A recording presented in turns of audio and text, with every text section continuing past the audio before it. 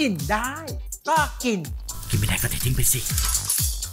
สนับสนุนโดยโลโบผงหมักไก่สไปซี่บิ๊กวิงนานาจะมาทอดปลาหมึกกัน วันนี้นานาจะทำเป็นปลาหมึกทอดสามรสกันค่ะ เมนูนี้เนี่ยทานเล่นก็เพลินมาก หรือทานกับข้าวก็อร่อยไปเลย น้ำมันร้อนๆนะคะ ใส่ปลาหมึกลงไป ต้องร้อนจนกระทั่งปลาหมึกฟูขึ้นมาอะแบบนี้ถือว่าน้ำมันเราใช้ได้แล้วนะ อันนี้นานาใช้ปลาหมึกแห้ง เลือกที่มีหนวดเยอะๆในไหนๆทอดแล้วเอาให้หมดเนี่ยแป๊บเดียวเองขึ้นสีแล้วคุณผู้ชม ยกขึ้นมาปิดไฟ น้ำมันร้อนๆนะ ยกขึ้นมาพักทิ้งไว้ให้เสด็จน้ำมัน ได้ปลาหมึกทอดกรอบแบบนี้แล้วเนี่ยนะคะ พักทิ้งไว้จนเขาเสด็จน้ำมัน แล้วเอามาทำเมนูปลาหมึกกรอบสามรสกัน อย่าเผลอกินจนหมดตอนนี้นะ เพราะว่าเอาไปทำสามรสก็อร่อยไม่แพ้กันค่ะ ตั้งกระทะใบใหม่นะ หรือคุณจะใช้ใบเดิมเทน้ำมันออกหมดก็ได้ ใส่น้ำมันลงไปนิดหน่อย ด้วยความที่ปลาหมึกเนี่ยเขามีกลิ่นที่เป็นกลิ่นของปลาหมึกเนี่ยหลายคนก็จะบอกว่าถ้าเกิดว่าใส่รากผักชีกระเทียมพริกไทยลงไป ก็จะช่วยทำให้กลิ่นมันหอมยิ่งขึ้น อันนี้เป็นอีกหนึ่งเคล็ดลับ ผัดจนรากผักชีกระเทียมพริกไทยหอม จากนั้นคุณผู้ชม วันนี้นานามีพริก 2 ชนิด พริกเหลือง ให้รสเผ็ดสีสวย พริกแดง ผัด และเติมกระเทียม กระเทียมผัดสุกกับกระเทียมที่ยังไม่สุกจะให้รสจัด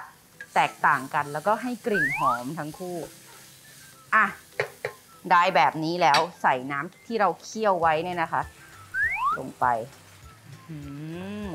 เนี่ยเหนียวแบบนี้เราไม่เสียเวลาเคี่ยวเลย จากนั้นใส่เนื้อสัตว์ของเราที่เตรียมไว้ลงไปฟองอากาศหนาๆแบบนี้ แปลว่าน้ำเคี่ยวเราได้ที่แล้ว กวาดเจ้าปลาหมึกกรอบๆลงไปเลยค่ะ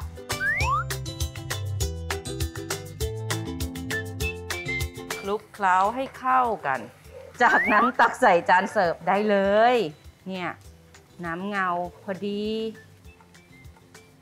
เรียบร้อย ปิดไฟค่ะ ยกลงเสิร์ฟได้เลย ตักเจ้าปลาหมึกกรอบสามรสของเรานะคะ ลงจานเสิร์ฟเท็ดดี้จะชอบบอกว่าทำตั้งเยอะเสิร์ฟนิดเดียว ใช่ค่ะ โอเค ตรงนี้เก็บไว้ ไม่มีสีเขียวเลย เพิ่มสีเขียวนิดนึงค่ะ ผักชีช่อสวยๆหนึ่งช่อ เรียบร้อยแล้วคุณผู้ชมปลาหมึกกรอบสามรสของนานา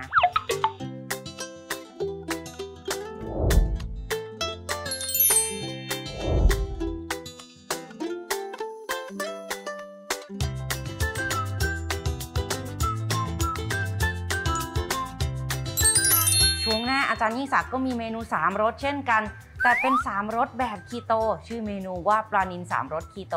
ติดตามชมนะคะ มชวนรับประทานมากคุณผู้ชมนี่เรียบร้อยแล้วคุณผู้ชม ปลานินสามรสคีโต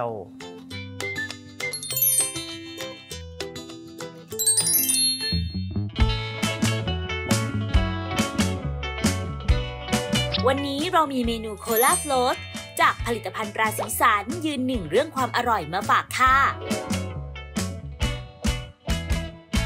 เริ่มจากเทวิปปิ้งครีมลงในภาชนะ ตามด้วยไข่แดง เจลาตินชนิดผง เกลือฮิมาลายันคนให้เข้ากันนำขึ้นตั้งไฟ ตุ๋นจนส่วนผสมข้นขึ้น ปิดไฟ ใส่น้ำหวานเข้มข้นกลิ่นโคลาสูตรคีโตตราสีสัน ให้ความหวานได้อย่างลงตัว โดยปราศจากน้ำตาลดีต่อสุขภาพ คนให้เข้ากัน เทใส่ภาชนะพักไว้จนเย็น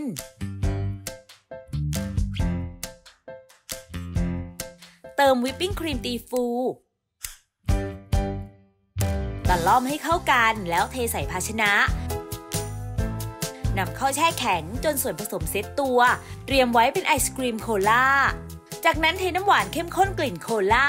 สูตรคีโตตราสีสันลงในภาชนะ ตามด้วยโซดา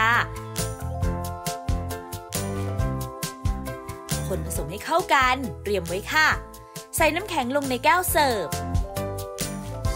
ใส่ส่วนผสมโคลาที่เตรียมไว้ ตามด้วยไอศครีมโคลาพร้อมเสิร์ฟค่ะ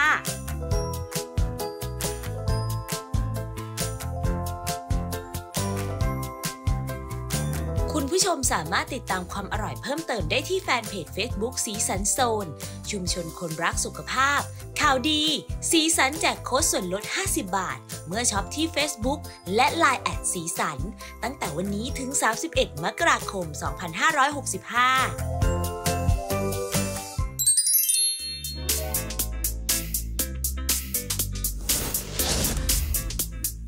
ผู้ชมกำลังมองหาร้านลดเค็ม วันนี้เราจะพาไปร้านอาหารท่าดินแดงชั่วคิมหลี ลาดพร้าว 35 ทับหนึ่งซึ่งเป็นร้านในโครงการลดเค็ม สังเกตง่ายๆจากนี่เลยค่ะ ป้ายประชาสัมพันธ์โครงการลดเค็ม สแกนเข้าไปก็จะเจอกับสาระดีๆ เพียบ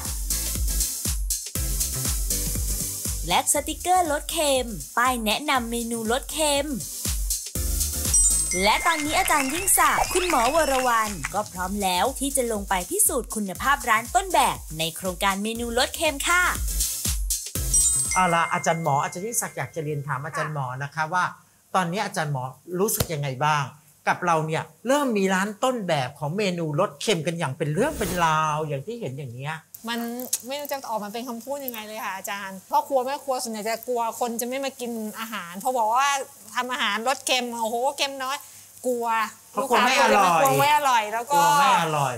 ที่สำคัญคือ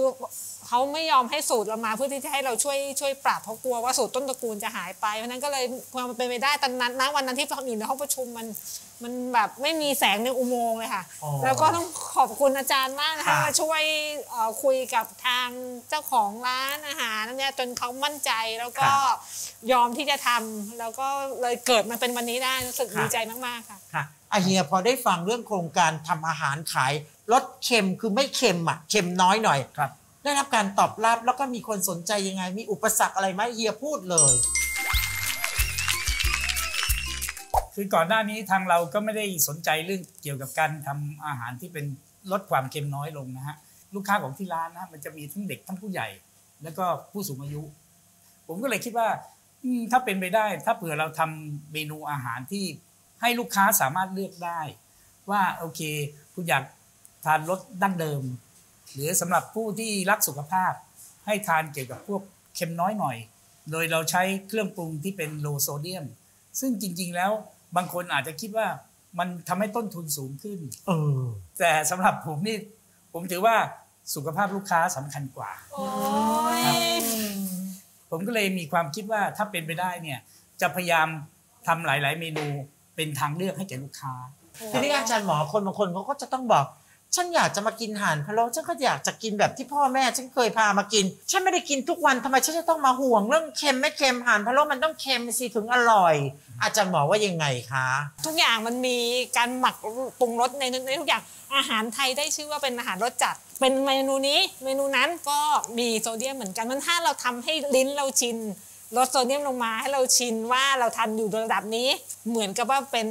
ธรรมชาติของเราไปอะค่ะอาจารย์เอาอย่างนี้ดีกว่าเรานั่งคุยกันมานาน เราพิสูจน์ซิว่าอาเฮียสุรศักดิ์เนี่ยเขาปรับสูตร แล้วลูกค้าก็ไม่รู้สึกอะไรเลยอ่าฮะแล้วเขาก็ดีใจมากเลยเนี่ยเมนูที่ให้เราชิมวันเนี้ยมันดีต่อสุขภาพค่ะอาจารย์หมอคงต้องทำงานแล้วล่ะค่ะเวลาที่เราอ่าไม่เป็นไรค่ะเดี๋ยวให้ชิมก่อนว่า น้ำซุปที่แบบปรุงแล้วแบบเค็มน้อย จะยังคงอร่อยไหมอ่าเซ็งไหมเอออาจจะไม่อร่อยอะไรอย่างเงี้ย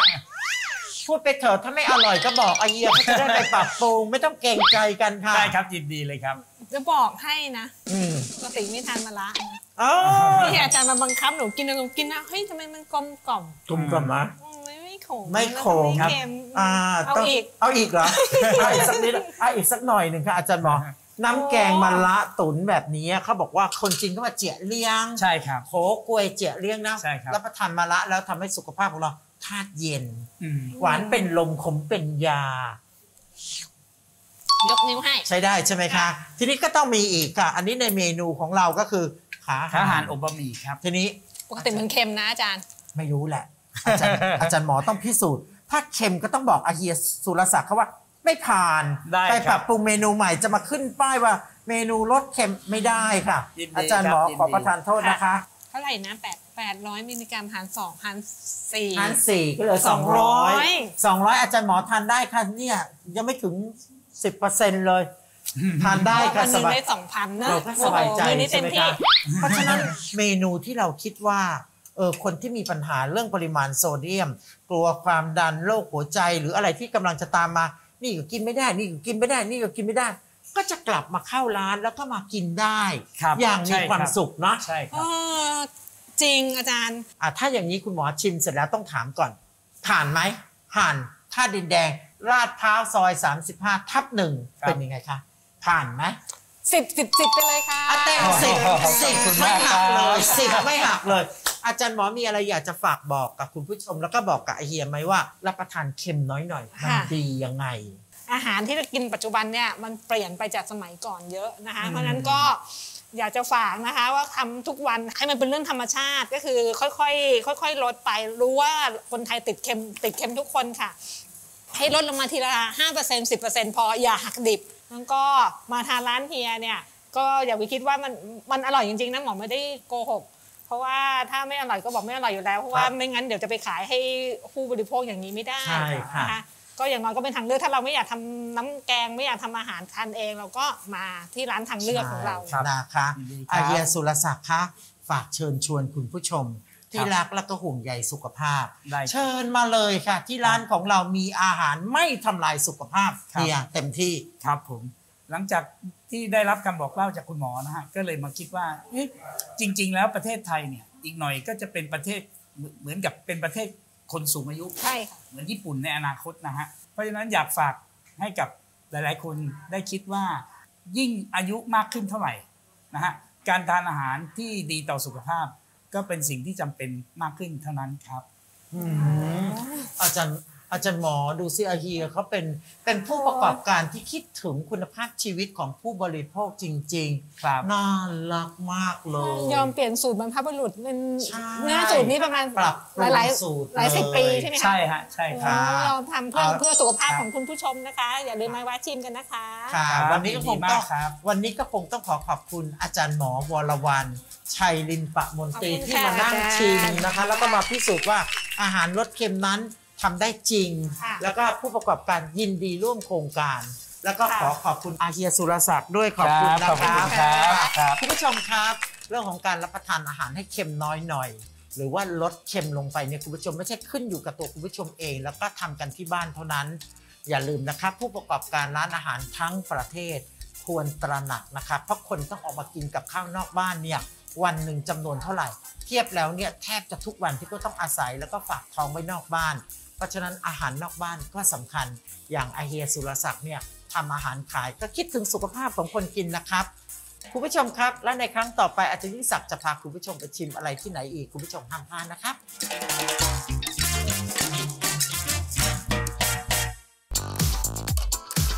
กินได้ก็กิน กินไม่ได้ก็ทิ้งไปสิ